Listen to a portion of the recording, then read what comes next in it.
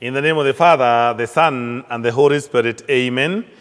Today I wanted to, to, to wear a red suit, but I am wearing my characteristic black suit because I, I don't dress like some people who are looking at me here. That, Father, you can be in red to be in the season. No, I am in season, even in black. Allah. Happy Valentine's.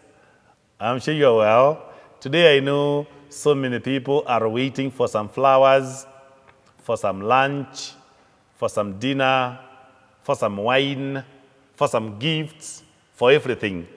Whatever it is, allow me to wish you happy Valentine's. And today I want to give a, a very short reflection on this day. And I want to talk about the expectation.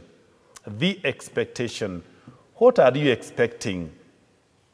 On Friday, uh, 10th, I attended the pre-Valentine's dinner in Kajiado. That is in um, uh, Ngong Diocese. And we had lots of fun with the couples and the priests and the religious there, and it was just a glorious night. And I have been able to give a few other talks uh, before today. So I need to ask you this simple question. What is your expectation today?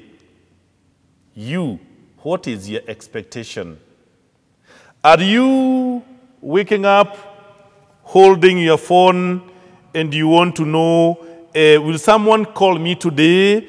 Will I get that message? Will I get a gift? Will this or this happen? Uh, will he come? Will she come? Will this happen?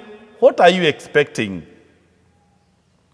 Now, my dear friend, allow me to give you this small piece of advice because I have been in this world for some years.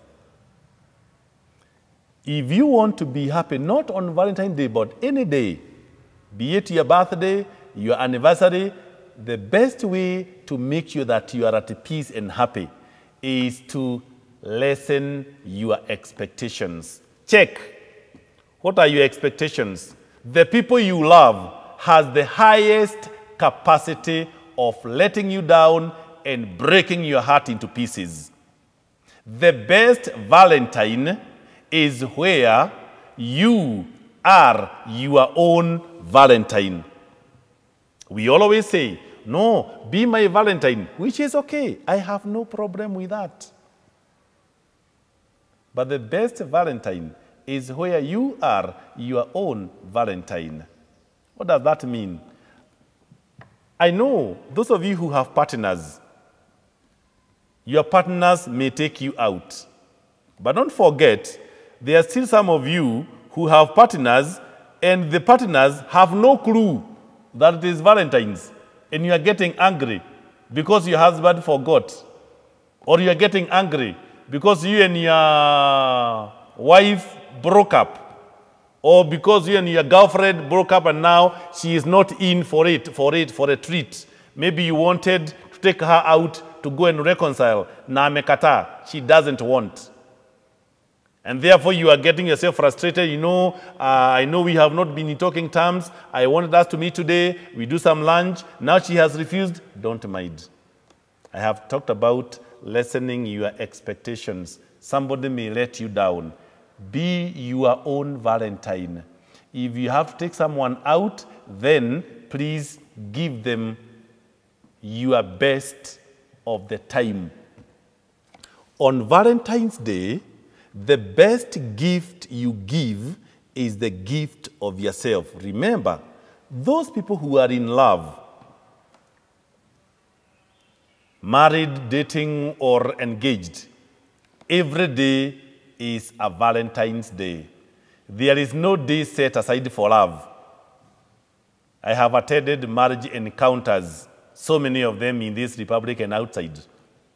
And they will tell you, in any gathering of married encounter you go, in every gathering of couples for Christ that you go, they will tell you, every day it is Valentine's Day.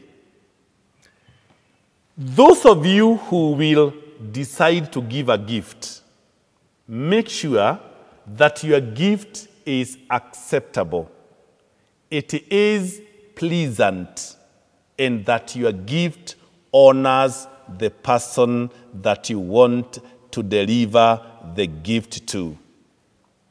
Let your gift reflect the goodness that is in your heart and the godliness that you have always exhibited. Please, do not give a gift to intimidate. Do not give a gift to malign. Do not give a gift to dehumanize. Do not give a gift to enslave. Do not give a gift to confuse. Give a gift that reflects the goodness in you and the dignity that you have always protected and exhibited as a man or as a woman. To our gracious ladies, I know you have always said, This is our day, we need to be treated. I have no problem with that. Just in case you have nobody to treat you, remember, you should be your best friend. When you are your best friend, please make sure that today you take yourself out. Go treat yourself. Buy yourself some flowers if you can. Buy yourself a love card. Buy yourself some chocolates. Create a table for yourself. Eat your best meal. Pay for it. Please pay after you have paid. Pick your flowers. Go home. Once you have gotten home, put your flowers on the table. Hug yourself. Shower and sleep and wait for Jesus. Happy Valentine's. Father, Son, and the Holy Spirit. Thank you.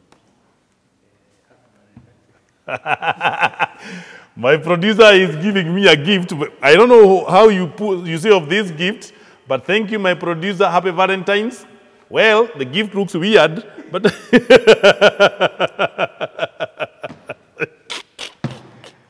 thank you, good people. I have a gift already. Thank you.